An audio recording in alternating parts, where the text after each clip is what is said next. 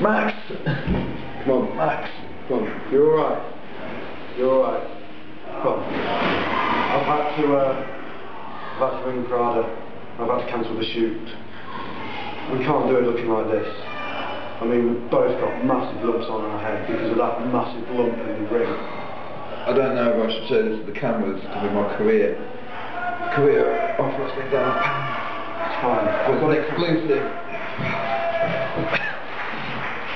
Look at that. That has ruined the face of Grace. I can still wear nice clothes, but his face is his career. Oh, the face of pain now. It's messed with my whole body.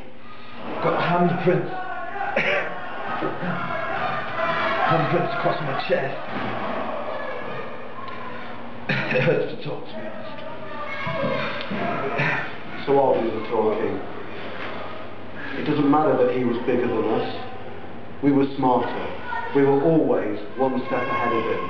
And we will always be one step ahead of everybody else. Despite these lumps in our heads, we're still the best looking thing this company has ever seen. And we will always look good doing whatever we do. Get him out. Get him out.